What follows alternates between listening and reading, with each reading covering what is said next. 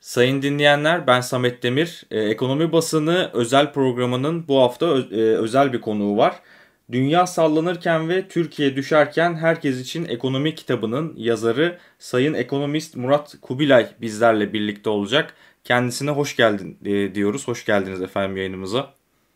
Merhabalar, davetiniz için teşekkür ederim. Biz teşekkür ederiz katıldığınız için. E, kendisinin kitabı e, geçtiğimiz haftalarda çıktı ve şu anda internette e, satışa sunuldu. Çeşitli internet sitelerinde de satışı yapılıyor. E, biz kitaptan öne çıkan konularla ilgili izleyicilere bilgi vereceğiz ve e, Sayın Kubilay da bizlerin e, bizlerin sorusu, e, sorularını yanıtlayacak. E, ilk olarak e, Sayın Murat Bey, e, seçkinlerin egemenliği hakkında küresel sistemin olumsuz yanlarını çok net olarak anlatmışsınız kitabınızda. E, sizce farklı bir küresel sistem mümkün müydü ve bundan sonra e, nasıl mümkün olabilir? E, kitabı oluştururken e, çok güçlü bir e, neoliberal dönem hegemonyası olduğunu bilerek e, yapmak istedim. Bu nedenle en temel konulardan herkesin anlayabileceği bir dilde başladım. E, tabii ki bu şekilde anlatırken ara ara eleştirilerde bulunurken en nihayeti bunları toplu bir halde ifade etmek gerekiyordu. Onu da küresel sistemle ilgili bölümde e, daha dolu dolu anlatma imkanım oldu. E, şu andaki içindeki bulunduğumuz sistem 1970'li yıllarda kurgulandı, 80'li yıllarda uygulamaya geçti, 90'lı ve 2000'li yıllarda da altın dönemini yaşadı. 2007'de öncü göstergelerle, öncü şoklarla başlayan küresel finansal krizden beri de zorluklarını yaşıyoruz ve çok muhtemelen 2020'li yıllarda buna veda edeceğiz. Bu sistemde e, ulus devletlerin payı daha küçük oluyor, özel sektörün payı daha büyük oluyor e, ve sermayenin küreselleşmesi bir e, mümkün hale gelebiliyor. Yani üç bacağı vardı. E, devlet yerine kamu, e, ulus devletler yerine uluslar üstü kuruluşlar ve şirketler ve aynı şekilde bütün sermayenin de dünyada e, küresel hale gelmesi, finansal serbestleşmenin yaşanması. Şimdi bunlar bir önceki dönemdeki tıkanmalar üzerine yapılmış e, benim çok yanlı olduğunu düşündüğüm tespitler sonucunda uygulandı. Hı hı. Yani 1970'li yıllarda ABD başta olmak üzere dünya ekonomi, ekonomileri bir sıkıntı yaşarken bunun e, başka verim artışlarıyla kaynaklanabileceğini, bunun için yeni pazarlar, yeni kaynaklar gerektiği ifade edildi. Zaten küreselleşme de böyle oldu.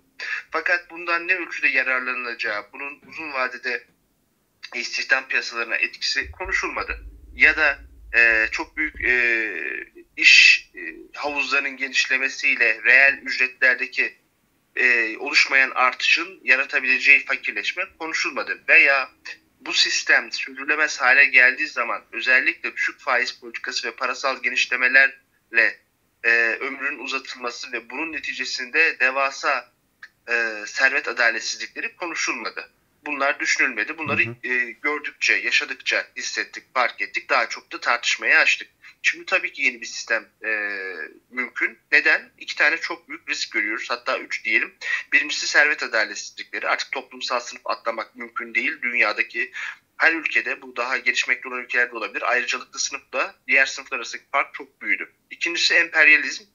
Belki kendisini eski dönemlerde olduğu kadar savaşlar ölçeğinde göstermese de hala sürüyor ve özellikle özellikle e, geri kalmış ülkelerin arasında bunu hala görüyoruz. İşte hı hı. örneğin Yemen'de görebiliyoruz, Afganistan'da gördük, başka yerlerde görebiliyoruz ve illa da savaş düzeyine ulaşmasına da gerek yok. Son olarak küresel ısınma. E, bu şekilde devam edersek gezegeni tümden yitirecek gibiyiz. Hı hı.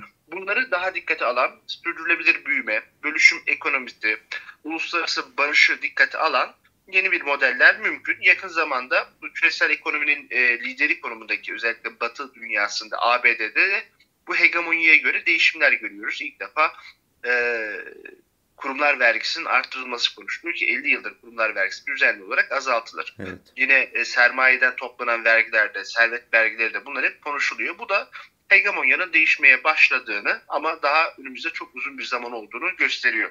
Evet. E, değerli yanıtlarınız bizi gerçekten aydınlattı bu konuda. İkinci olarak ulusal ve uluslararası açıdan tekerleşme konusunda neden insanlar rahatsız olmalı? Kitabınızda tekelleşmeden e, insanların rahatsız olması gerektiğini aslında e, bir nebze anlatmışsınız. Sizi e, neden rahatsız ediyor tekelleşme? Esasında bazı e, sektörler duaları itibariyle tekeldir. Yani İstanbul'da yalnızca bir tane su ve kanalizasyon idarecisi var. İkincisini kurarsanız, rakip yaparsanız çok verimsiz olur.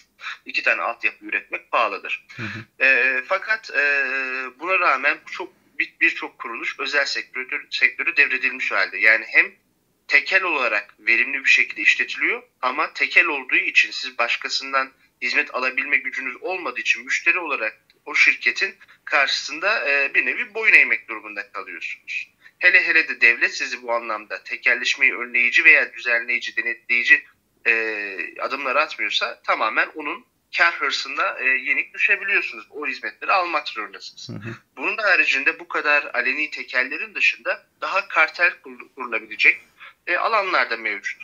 E, sadece ulusal ölçekte değil, uluslararası ölçekte çok daha fazla. Bakın dünyadaki araba e, üreticilerin e, araba pazarının %90'ı sadece 10 firmada. Gördüğümüz birçok marka aynı firmanın e, ürünleri. Yakın zamanda fe, e, otomobil firmaları birleşerek Stellantis diye bir grup evet. kurdular. Bu grubun içerisinde birçok şu anda gördüğümüz marka var. Halbuki biz bunları günlük hayatımızda zannediyoruz farklı şirketler. Evet. Tabii bu şekilde bir tekelleşme oluştuğu zaman bundan şirketler faydalanıyor. Şirketlerin hissedarları da faydalanıyor. Peki bu şirketlerin mülkiyeti toplumda adil bir şekilde paylaşılmış durumda mı? Şüphesiz ki değil. Şüphesiz ki daha gelişmiş ülkelerdeki gelişmiş e, geliri yüksek kesim bunlardan faydalanıyor. Yine son dönemde gelişmekte olan ülkelerde de sermaye birikimi arttığı için bu ülkelerdeki varlıklı kesim de bundan faydalanıyor. Özetle tekerleşme, üretim ve satış süreçlerine verimlilik sağlasa dahi bazı sektörlerde doğası itibariyle bu şekilde ilerlese dahi ödülleri adil bir şekilde paylaşılmadığında veya devlet tarafından düzenlenmediğinde e, düşük gelir grubu, orta gelir grubunun aleyhine gerçekleşir. Küresel ölçekte de pazarlar, piyasalar bu şekilde bölüşülür. Örneğin yazılımda e, gördüğümüz üzere çoğunlukla ABD işte biraz da Çinli e, firmaların etkinliğini görüyoruz. Diğer ülkeler bunu çıkaramıyorlar. Çünkü büyük veri tekelinden ötürü çok ciddi bu şirketler mesafe kat ettiler. Kat edilmiş bu mesafenin e, diğer ülkelerce sıfırdan kurulan şirketlerce kapatılması çok zor. E böyle bir durumda şu esnadan sonra bir e, mesajlaşma e, uygulaması e, size daha bilgilerinizi daha fazla paylaşmanızı istediğiniz zaman siz artık bunu kabul etmek zorunda kalıyorsunuz. Evet. Sizin adresinizi takip etmek istediği zaman kabul etmek zorunda kalıyorsunuz. Başka istekleri olduğu zaman da çünkü o hizmete o kadar bağlanmış. Çünkü o hizmet size tekel oluşturmuş. Evet. Müşteriyi artık ezebilir durumda. Bu nedenle e, birçok anlamda etkileri var. Hatta son olarak da şunu söyleyeyim. Tekeller o kadar güçlüdür ki e, siyasetçiler üzerinden lobi güçlerini de kullanarak e, bizim gibi Türkiye gibi ülkelere de çok rahatlıkla akış yaparlar. Hı hı. Türkiye'deki şeker fabrikalarının bu kadar özelleştirilmesine olan e, talep yurt dışından gelen lobicinin arkasında bu uluslararası e, şeker üreticisi karteller var. Türkiye'deki piyasayı ele geçirmek için Türkiye'deki üretimin azaltılması gerekiyor ve bu çerçevede de e, denemelerde bulunuluyor. Evet. Özetle e, sermaye, servet, şirket bunlar çok güçlü olduğu zaman ister istemez hem düşük gelir grubunun hem de tüketicilerin aleyhine müdahaleler yapıyor. Bunu engellemenin yolu tekelleri kırmak ve en azından kırılamıyorsa da düzenlemektir. Evet aslında yanıt verdiniz bir sonraki soruma küreselleşme ve tekelleşme arasındaki ilişkiyi nasıl tanımlarsınız diye soracaktım ancak e, gayet geniş bir yanıt verdiniz bir önceki soruya. E, buradan evet, şuna tabii ki buyurun. Sadece. O da şudur. Küreselleşme çok boyutlu. Mal e, var, hizmet var, sermaye var ama insan küreselleşmesi yeterince yok. Bunu zaten engelleyen sınırlar var, vizeler var. Bunun haricinde e, kültürel etkenler var, dini tercihler veya gelenekler, görenekler, hı dil bilgisi. Ama biz bunları kolaylaştırmamız gerekirken diğer tarafı hep kolaylaştırdık. Dengeyi sağlayabilmek için e, sa, e, bu kısmı da kullanmamız gerekiyordu. Halbuki yalnızca sermaye ve mal ve hizmet satışına odaklandık. Bu da bu şekilde küreselleşmede bir tekelleşmeye dönüşmüş oldu. Evet. Teşekkür ederiz. E, kitabınızda Türkiye'nin döviz krizlerine karşı 70'li ve 2000'li yıllar arasında yurt dışında çalışan e, işçilerin genelde Almanya'da, Avrupa'da çalışan işçilerin ülkeye getirdiği dövizlerden faydalandığını anlatıyorsunuz. E, bugüne geldiğimizde de Türkiye şu an benzer bir şekilde bir döviz problemiyle karşı karşıya. Mevduat hesaplarındaki çözülmeyle de bunun aşılabileceği iddia ediliyor. Hem uzmanlar hem de bir takım siyasi e, isimler bunları dile getiriyor. Sizce sorunun çözümü bu mu yoksa Türkiye daha köklü bir sorunla mı karşı karşıya? 1970'li yıllarda Türkiye'nin dış borcu çok daha sınırlıydı. Zaten birçok ürün mesela hizmetler sektörü daha uluslararası ticarete açılmamıştı. Yazılımlar bu şekilde satılmıyordu. Dolayısıyla açıklar küçüktü. Türkiye daha kapalı bir ekonomiydi ve az miktarda ki döviz girdisiyle zorunlu olan döviz giderleri örneğin enerji gibi karşılanabiliyordu. Türkiye'de bu şekilde birinci petrol krizi 1973'tekine rağmen ee, özellikle Almanya'daki işçilerin döviz girdileriyle e, Türkiye'ye göndermeleriyle bununla baş edebildi. Hı hı. Ne zaman ABD e, yaptırımlarıyla karşılaştık Kıbrıs nedeniyle ondan sonra bu iş çok daha sert bir hal aldı. Orada ne oluyordu? E, bir şekilde Almanya ile bütünleşememiş işçilerin e, biraz da milli bağları neticesinde hem de paralarını köylerine, kendi kasabalarına göndermek istemelerinden de faydalanarak ve onlara da yabancı para, para karşılığı yüksek faiz sunularak hı hı. E, ilgileri çekilmişti. Fakat e, 2013'te 14'ten sonra bu kalmadı. Neden kalmadı? Çünkü bir akış azaldı. Çünkü e, artık o ikinci kuşaklar, üçüncü kuşaklar kendilerini daha Almanya e, merkezi görmeye başladılar. Paralarını bunu değerlendirmeye başladılar ve Türkiye'ye dair güvenleri azaldı. Daha önemlisi ise şu, Türkiye'nin dış borçları aşırı derecede arttı. Yani bir gruptaki e, döviz fazlasıyla kapatılabilecek, örtülebilecek düzeyi çoktan geçti. Hatta şöyle söyleyeyim, e, Türkiye'nin çok daha eski dönemlerinde e, bazı gelişmiş ülkelerin büyük bankalarından rahatlıkla finansman sağlayıp dış açıklarını örtebilirdi. Fakat şu anda Türkiye'nin 450 milyar dolarlık dış borcu var. Bu borcu ancak çok büyük konsorsiyumlarla e, veya IMF gibi büyük gruplarla ancak döndürebiliyorsun. Böyle bir ortamda bireylerle yapılabilecek değil. Türkiye maalesef e, içerisindeki döviz likiditesini çok ciddi bir şekilde dış açıklarla yitirdiği ve son dönemde sermaye çıkışı, yastık altına kaçış ve bir de Merkez Bankası'nın bu günler için kullanması gereken dövizlerin heba edilmesiyle maalesef Türkiye çok daha köklü bir sorunla karşılaşmış durumda. Bunun çözümü de ancak e, uzun vadede gerçekleştirilebilir. Türkiye'nin üretimi tüketimden daha fazla yaptığı bir ekonomik modelle başarılabilir. Evet. Evet. E, kitabınızda yine uluslararası rekabet adil midir sorusuna yanıt verirken yoksullaştıran büyüme kavramını ortaya koyuyorsunuz. E, sizce gelişmekte olan ülkelerin içinde bulunduğu bu yoksullaştıran büyüme durumu küresel sistemin e, bu ülkeleri bir dayatması mı yoksa bu ülkelerin bilinçli tercihi mi? Yani içine düştükleri durum e, küresel sistemin dayatmasıyla mı oluşuyor yoksa ülkelerin e, yetersizliklerinden ötürü mü bu kaynaklanıyor? Rekabetteki en önemli etken teknoloji gücü ve sermaye gücüdür e, iş gücü verimliliği de önemlidir. E, nasıl ulusal rekabette bu konularda bir farklılık varsa uluslararası rekabette de aynı durum geçerlidir. Uluslararası rekabetin bir farkı ise şudur. E, devletler arasındaki anlaşmalarla veya daha üst e, kuruluşlarla bunlar düzenlenir. Ve bu düzenlemelerde en büyük e, pay hakkı tabii ki gelişmiş ülkelere aittir.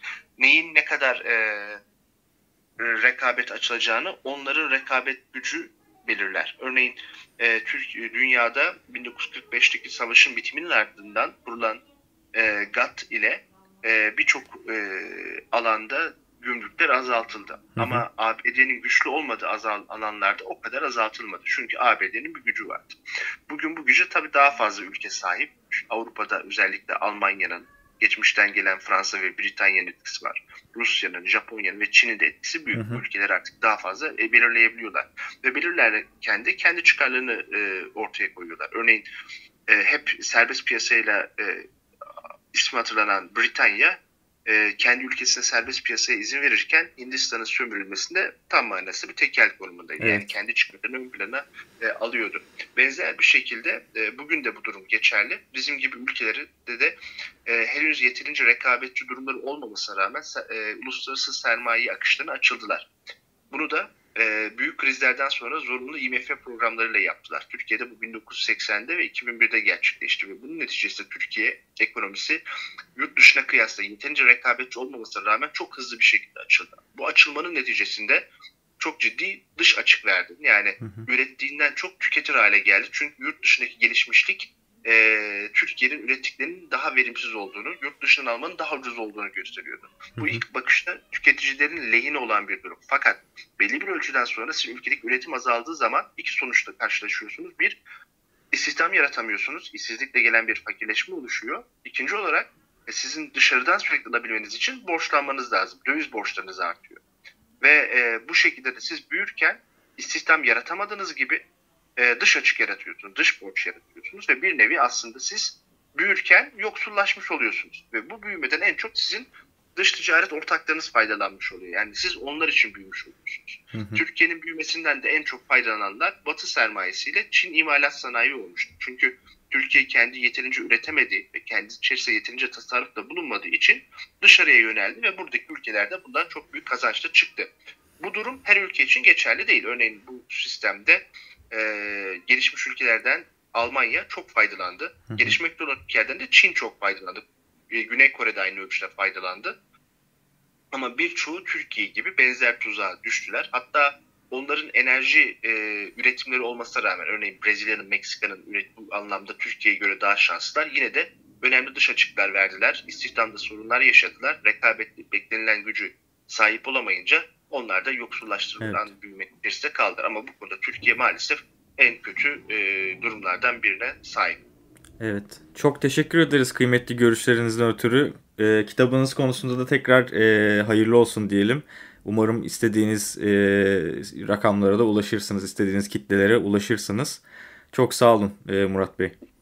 Ben teşekkür ederim. Bu şekilde umarım e, farklı gruplara da eriştirme e, imkanımız olacaktır. Amacımız farklı düşüncelerle temel ekonomik, temel finansal gelişmeleri anlatabilmek, okur yazarlığı anlat, e, artırabilmek. Evet. Tekrar teşekkürlerimi sunarım. Ben teşekkür ederim. Görüşmek üzere. Görüşmek üzere.